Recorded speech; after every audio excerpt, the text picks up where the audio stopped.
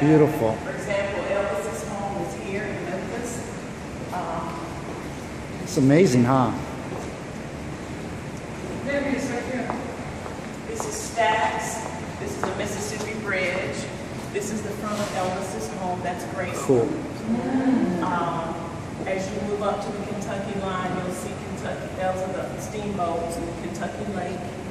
Um, that is, um, that polar bear was taken from an ice cream place in Memphis that Elvis liked to frequent.